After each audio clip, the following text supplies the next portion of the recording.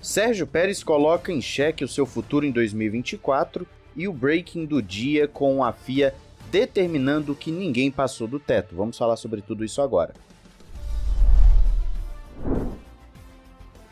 Olá, amigo do Ressaca Fórmula 1, seja bem-vindo a mais um vídeo. Eu sou Matheus Pucci e vamos começar com Sérgio Pérez.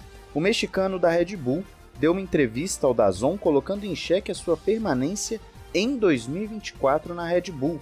O contrato dele vai até o final da próxima temporada, então a entrevista acaba sendo quase que uma reviravolta em tudo que está sendo dito sobre o Pérez. Nós sabemos que o Helmut Marko, por exemplo, coloca em xeque a permanência do mexicano, ele está sempre na mídia falando que nada é 100% certo, que não existe algo concreto na Fórmula 1, os contratos podem ser mudados, inclusive dando a entender que o Pérez pode até mesmo ser rebaixado para AlphaTauri, por mais que algumas pessoas digam que o contrato dele não tem essa cláusula de que ele poderia ir para AlphaTauri e tal.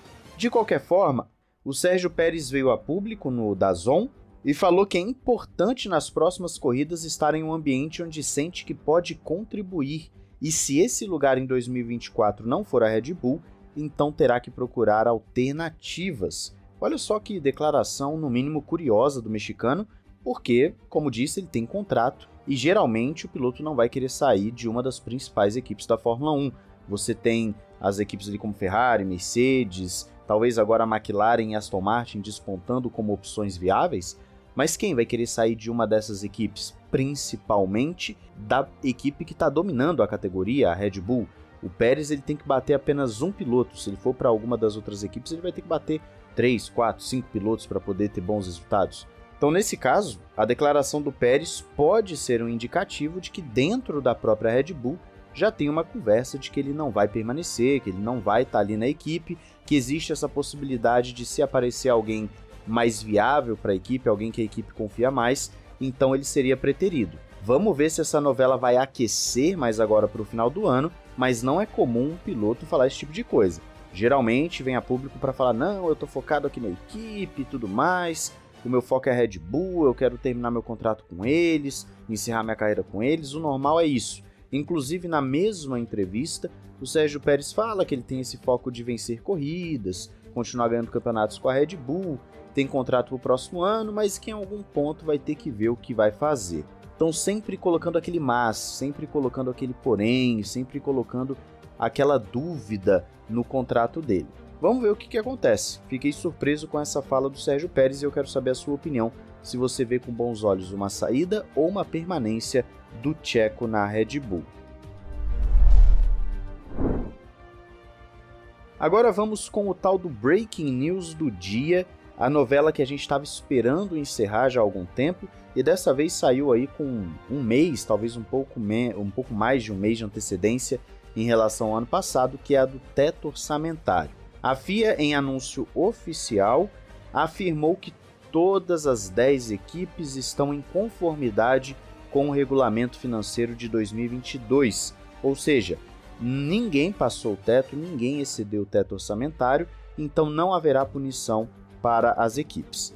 Lembrando que os rumores que nós tivemos mais agora para o meio do ano era de que algumas equipes, duas ou três equipes, tinham passado desse teto e as especulações apontavam muito para Aston Martin, Mercedes e Red Bull. Então essas três, ou então pelo menos duas dessas três, teriam passado do teto orçamentário.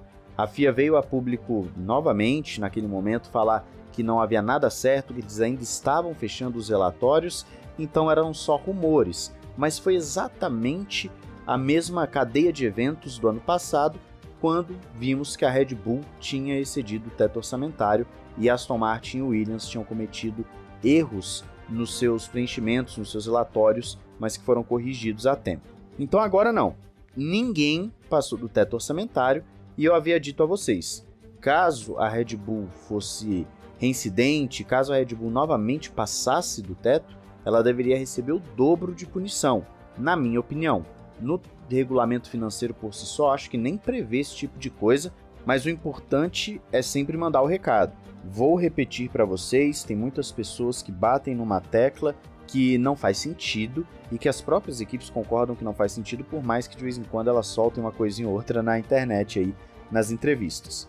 a punição da Red Bull foi sim justa. A Red Bull ultrapassou com a dedução dos impostos 400 mil dólares. Isso é basicamente nada, você não faz um carro de Fórmula 1 com 400 mil dólares, você faz algumas poucas peças no desenvolvimento de um ano, até porque para você fazer um carro novo, você gasta mais ainda para isso só na pesquisa de componentes. Então não, você não tem nessa questão dos 400 mil dólares o motivo da Red Bull ser dominante na Fórmula 1. Os 10% no túnel de vento, que impacta também nas runs que eles têm no túnel e no CFD, são gigantescos. O impacto disso é absurdo. E você ainda tem a tal multa de 7 milhões, que a multa, convenhamos, a multa não é grande coisa, né? Eu acho que você deveria deduzir do teto do cara no próximo ano a mesma quantia que ele cedeu também, além do, da punição no túnel de vento. A própria Fórmula 1 já falou que não quer que tenha punição financeira, ou seja, vamos supor, uma equipe passa em 10 milhões, aí sim, 10 milhões a gente já está falando de uma quantia considerável que você faz sim muita coisa para o carro do seguinte ou para a atualização do carro atual, você já consegue mudar a história de um campeonato com 10 milhões de dólares. Aí a FIA não quer, a Fórmula 1, melhor dizendo, não quer que as punições sejam financeiras. Então você não puniria a equipe como, por exemplo, deduzindo 10 milhões do teto orçamentário dela. Ela quer que a punição seja esportiva, ou seja, em túnel de vento, em restrição de desenvolvimento, em você chegar e falar, oh, você passou 10 milhões, então você vai ter 50% a menos de desenvolvimento do túnel de vento. Seria algo mais ou menos nessa faixa que a FIA, que a Fórmula 1, melhor dizendo, está querendo fazer, já que a punição é a FIA quem dá. A Fórmula 1 não dá a punição, quem pune é a FIA. E o regulamento também, de certa forma, é feito pela FIA. Então, a punição da Red Bull foi sim forte. Qual que é a diferença que por que, que a Red Bull dominou a categoria? Primeiro, a gente tem que lembrar que o carro de 2022 da Red Bull não nasceu como sendo o melhor. O melhor era da Ferrari e isso é uma unanimidade no mundo da Fórmula 1. Não tem como brigar contra isso. O carro da Ferrari era o grande carro do início da temporada, por mais que a Red Bull também estivesse ali no calcanhar. O problema é que quando você faz alteração no meio do ano, mesmo depois da Red Bull tendo restrições e tudo mais, você colocou tudo justamente para aquilo que o Newey é especialista, que é altura de carro. Mexeram no assoalho e na altura do carro, e com isso as demais sofreram bastante enquanto a Red Bull ficou mais rápida ainda, e depois em 2023 aumentaram ainda mais a altura do carro, o que, repito, é a especialidade do Adrian Newey. Você fazer isso é basicamente entregar para ele tudo o que ele queria, mesmo com a restrição. A Red Bull conseguiu utilizar muito bem o seu tempo de túnel de vento, mas está claro, nítido para todo mundo, que a diferença, o gap real puro entre a Red Bull e as demais equipes caiu ao longo da temporada e nós vimos como o escalonamento e o teto orçamentário acaba tendo efeito com Aston Martin e com McLaren também.